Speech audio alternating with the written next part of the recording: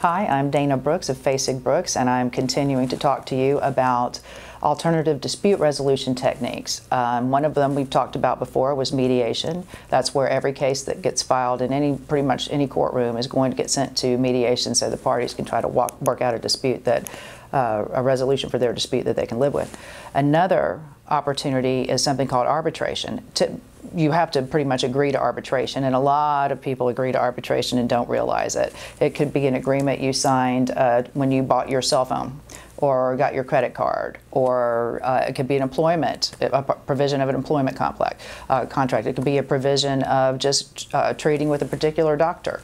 A lot of people require you to forego your rights to file a lawsuit in a uh, county circuit court uh, where you would ultimately have the opportunity for a jury trial. You forfeit that and you agree uh, in order to do business with them that you will submit any disputes between you to arbitration. And those uh, contracts are favored, so you don't get to pick which one turns out better for you. Once you're committed to that, that's what you're going to have to do.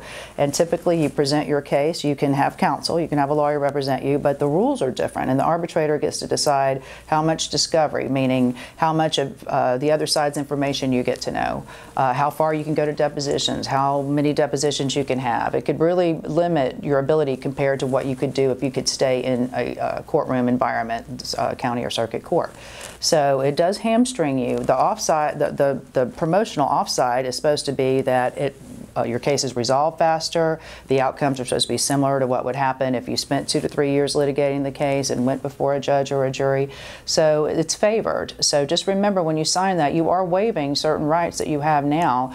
Um, and you have to, a lot of people don't think arbitration favors the little guy. It seems like it would favor the moneyed interest, the bigger power, because they have many cases to arbitrate, and this is probably just your one case. So um, there's not a lot of appellate options if you have a bad outcome at arbitration.